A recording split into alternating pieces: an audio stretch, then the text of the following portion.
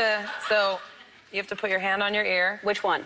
Just this this finger. This finger? Uh huh. Uh-huh. uh-huh. this finger. And you have to put this finger in the air, the Uh-huh, other hand, and uh-huh. you have to do this. Okay. It's a very important part. All right. Mariah taught us all, All right. that, didn't she? All right. And you don't need you. Guess what? I'm having more fun.